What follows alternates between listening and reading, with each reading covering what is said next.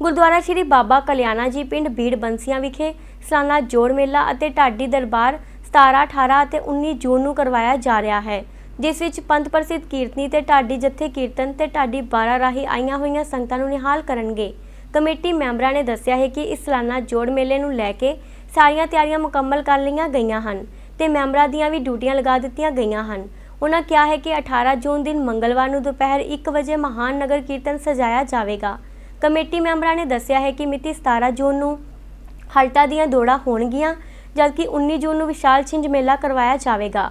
ਉਹਨਾਂ ਸਮੂਹ ਸੰਗਤਾਂ ਨੂੰ ਇਸ ਸਾਲਾਨਾ ਜੋੜ ਮੇਲੇ ਵਿੱਚ ਸ਼ਾਮਿਲ ਹੋਣ ਦੀ ਅਪੀਲ ਕੀਤੀ। ਇਸ ਸਾਲਾਨਾ ਜੋੜ ਮੇਲੇ ਦਾ ਮਿਤੀ 17 ਜੂਨ ਤੇ 19 ਜੂਨ ਨੂੰ ਨਵਰੰਗ ਚੈਨਲ ਤੇ ਸਿੱਧਾ ਪ੍ਰਸਾਰਣ ਵੀ ਦਿਖਾਇਆ ਜਾਵੇਗਾ।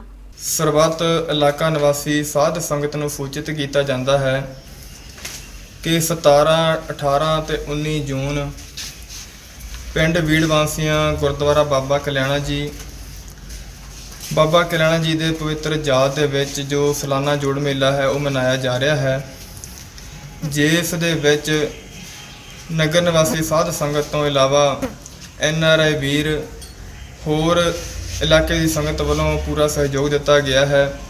ਸਾ- 17 ਤਰੀਕ ਵਾਲੇ ਦਿਨ ਸਭ ਤੋਂ ਪਹਿਲਾਂ ਸਵੇਰੇ ਨਿਸ਼ਾਨ ਸਾਹਿਬ ਜੀ ਤੋਂ ਚੋਲਾ ਸਾਹਿਬ ਪਹਿਨਾਏ ਜਾਣਗੇ।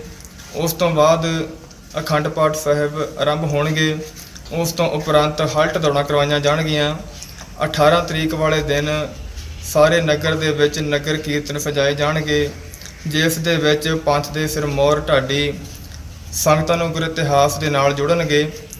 19 ਤਰੀਕ ਵਾਲੇ ਦਿਨ ਸਵੇਰੇ ਅਖੰਡ ਪਾਠ ਸਹਿਬਾਨ ਦੇ ਭੋਗ ਤੋਂ ਉਪਰੰਤ ਸੁੰਦਰ ਦੀਵਾਨ ਸਜਾਏ ਜਾਣਗੇ। ਜਿਸ ਦੇ ਵਿੱਚ ਪੰਥ ਦੇ ਸਿਰਮੌਰ ਢਾਡੀ ਜਿੱਥੇ ਗੁਰੂ ਇਤਿਹਾਸ ਨਾਲ ਜੋੜ ਕੇ ਸੰਗਤਾਂ ਨੂੰ ਨਿਹਾਲ ਕਰਨਗੇ। ਸ਼ਾਮ ਦੇ ਵੇਲੇ ਵਿੱਚ ਕੁਸ਼ਤੀਆਂ ਦੇ ਲਈ ਦੰਗਲ ਸਜਾਏ ਜਾਣਗੇ। ਜਿਸ ਵਿੱਚ ਪੰਜਾਬ ਦੇ ਚੋਟੀ ਦੇ ਪਹਿਲਵਾਨ ਆਪਣੇ ਕਲਾ ਦਾ ਪ੍ਰਦਰਸ਼ਨ ਕਰਨਗੇ, ਆਪਣੇ ਜ਼ੋਰ ਦਿਖਾਲਣਗੇ। ਜਿਸ ਦੇ ਵਿੱਚ ਪਹਿਲਾ ਇਨਾਮ 1.5 ਲੱਖ ਰੁਪਏ ਮੁਕਰਰ ਕੀਤਾ ਗਿਆ ਹੈ। ਬੇਨਤੀ ਕਰਦੇ ਹਾਂ ਸਾਰੀ ਇਲਾਕਾ ਨਿਵਾਸੀ ਸਾਧ ਸੰਗਤ ਦੇ ਚਰਨਾਂ ਵਿੱਚ, ਜਿੱਥੇ ਆਪਾਂ ਇਸ ਮੇਲੇ ਦੇ ਵਿੱਚ ਆ ਕਰਕੇ ਸੇਵਾ ਕਰਨੀ ਹੈ, ਉੱਥੇ ਆਪਣੇ ਬੱਚਿਆਂ ਨੂੰ ਨਾਲ ਲੈ ਕੇ ਆ ਕੇ ਤਾਂ ਕਿ ਇਤਿਹਾਸ ਸਰਵਣ ਕਰਕੇ, ਐਸੀਆਂ ਖੇਡਾਂ ਦੇਖ ਕਰਕੇ ਉਹ ਨਸ਼ਿਆਂ ਤੋਂ ਬਚ ਸਕਣ, ਉਹਨਾਂ ਨੂੰ ਆਪਣੇ ਨਾਲ ਲਿਆ ਕਰਕੇ ਇਸ ਮੇਲੇ ਦੀ ਸ਼ੋਭਾ ਨੂੰ ਵਧਾਉਣਾ ਹੈ। ਬੇਨਤੀ ਕਰਦੇ ਹਾਂ ਸਾਰੀ ਇਲਾਕੇ ਨਿਵਾਸੀ ਸਾ- ਸਾਧ ਸੰਗਤ ਦੇ ਚਰਨਾਂ ਵਿੱਚ ਕਿ ਇਹ ਸਮਾਗਮ ਕਰਾਉਣ ਦੇ ਵਿੱਚ ਸਾਡਾ ਪੂਰਾ ਸਹਿਯੋਗ ਦਿੱਤਾ ਜਾਵੇ। ਤਿੰਨ ਰੋਜ਼ਾ ਸਮਾਗਮ ਦਾ ਜਿਹੜਾ ਲਾਈਵ ਪ੍ਰਸਾਰਣ YouTube ਉੱਪਰ ਨਵਰੰਗ ਡੀ- ਡ- ਨਵਰੰਗ ਟੀਵੀ ਦੇ ਉੱਪਰ ਦਿਖਾਇਆ ਜਾਵੇਗਾ। ਤੇ ਸ਼ਾਮ ਦੇ ਵੇਲੇ ਛਿੰਝ ਦਾ ਜਿਹੜਾ ਪ੍ਰਸਾਰਣ ਹੈ, ਨਵਰੰਗ ਟੀਵੀ ਦੇ ਨਾਲ ਨਾਲ 365kabaddi.com ਦੇ ਉੱਪਰ ਦਿਖਾਇਆ ਜਾਵੇਗਾ। ਜਿਹੜੀਆਂ ਸੰਗਤਾਂ ਲਾਈਵ ਪ੍ਰਸਾਰਣ ਦੇਖਣਾ ਚਾਹੁੰਦੀਆਂ ਹਨ, ਇਹਨਾਂ ਸਾਈਟਾਂ ਦੇ ਉੱਪਰ ਉਹ ਸਾਰਾ ਪ੍ਰੋਗਰਾਮ ਦੇਖ ਸਕਦੇ ਹਨ।